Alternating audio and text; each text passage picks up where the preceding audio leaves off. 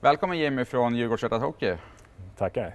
Ni har varit igång nu i ganska exakt ett år. Hur sammanfattar du den här perioden som har gått? Alltså det har ju varit eh, ganska otroligt. Det var intensivt inför förra säsongen. Vi liksom startade upp allting och skulle lansera och visste inte riktigt vad vi skulle förvänta oss. Men det har ju gått över, över förväntan, verkligen. Eh, jag menar, vi är nästan uppe i 600 givare nu. Det, det är otroligt. Ja, lanseringen skedde ja, men i början på september 2022, kort in på den Hockeyallsvenska premiären. Då stod ni på noll givare, nu är ni uppe i, som du säger, nästan 600. Eh, hur har den här resan varit att, att få uppleva och ta del av? Ja, men kul, för den, den, eh, någonstans så vi, vi startade ju upp eh, efter att vi visste att vi, skulle, att vi hade åkt ur och tänkte att ja, men nu, nu ska vi kraftsamla. Och man vet aldrig riktigt hur, hur är intresset, liksom, vad, vad känner folk?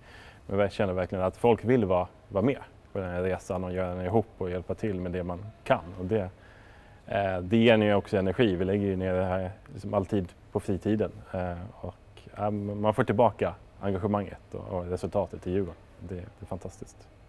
Och hela Djurgårdshjärtat Hockey, vad, vad är det för någonting? Vad går det ut på? Det är helt enkelt varje gång Djurgården vinner en match så skänker man pengar. Så man signar upp sig i förväg och sen så dras det 64 kronor. Förutom vid derbyn då dras det dubbla för då är vi extra glada. Eh, och tanken är ju att vi drar pengar bara när vi vinner så det, det ska kännas bra att bli av med de här pengarna.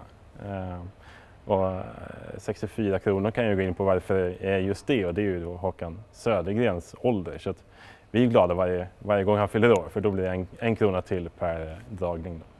Så ni är inne på så har man alltså gått upp då från 63 till 64 i och med att Håkan har fyllt år under sommaren? Exakt, så att, eh, se till att fira Håkan lite extra varje gång han fyller år nu. Tycker jag. Det är han värd oavsett. Tittar vi tillbaka på förra säsongen, premiärsäsongen då för Djurgårdsröda Hockey, så vann herrlaget eh, 42 matcher, seriespel och slutspel inräknat. Eh, det gav en överlämning till Djurgården Hockey från er sida på 1 40 000 kronor, en eh, fin summa. Ja, ja men och, och vi visste inte riktigt vad vi skulle förvänta oss innan. Vi hade ju med oss de som startade upp Djurgårdshjärtat för fotbollen och där såg vi att det, det gick ganska långsamt i början innan folk fick kännedom om vad Djurgårdshjärtat var vi hade ju lite tur att liksom, de hade gjort grovjobbet så att säga. Så att men, vi hade 400 givare ganska snabbt och, och, då såg man ju också, vi vann ju ganska mycket i början på säsongen och pengarna rullade in ganska snabbt och det tror jag var en, det var en liksom skön, skön grej för alla givare att se att ja, men shit, det här, det här blir ju någonting eh, som faktiskt är ett substantiellt bidrag. Och sen gick det lite trögare och sen så började vi vinna igen och man ser liksom pengarna rulla in. Och, ja, det, är en, det är en skön känsla, det blir dubbel glädje, verkligen.